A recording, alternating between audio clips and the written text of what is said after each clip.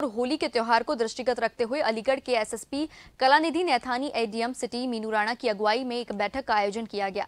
इस बैठक में हिंदू धर्म गुरुओं के साथ मुस्लिम मौलाना भी मौजूद रहे। वहीं एसएसपी कलानिधि नैथानी ने सभी धर्म गुरुओं से अपील की कि आने वाले त्योहारों पर शांति व्यवस्था बनी रहे। इसके लिए हम सभी को पहल करनी होगी। इसके साथ ही अति संवेदनशील इलाकों में पुलिस की अतिरिक्त व्यवस्था की जाएगी, जिससे शहर का माहौल खराब न हो। पुलिस चप्पे चप्पे पर तैनात रहेगी। होली और शब बारात का एक साथ त्यौहार आया है और छः और सात में क्योंकि शब बारात है और सात तारीख की होली है।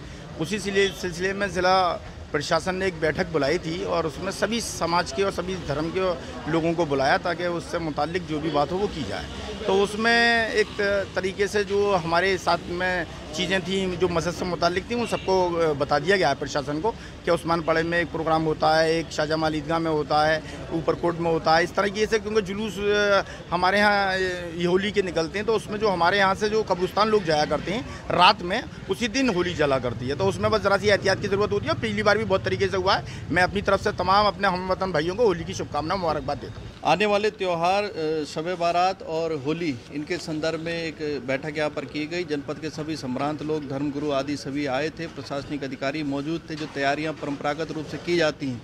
और कैसे परंपरागत रूप से सकुशल त्यौहार को संपन्न कराया जाए, ये एक रूटीन प्रक्रिया है। क्या प्रोटोकॉल फॉलो करने हैं? हर चीज़ से संबंधित, चाहे वो नगर निगम हो अग्निशमन हो बिजली विभाग हो, स्वास्थ्य विभाग हो, सभी की तैयारियों के बारे में लोगों ने अपने इनपुट भी दिए और हमारे द्वारा भी अपने अधीनस्थों को डायरेक्शंस दिए गए हैं, ताकि हर्षोल्लास के साथ त्यौहार मने और एक सुरक्षित वातावरण में ये त्यौहार मनाए।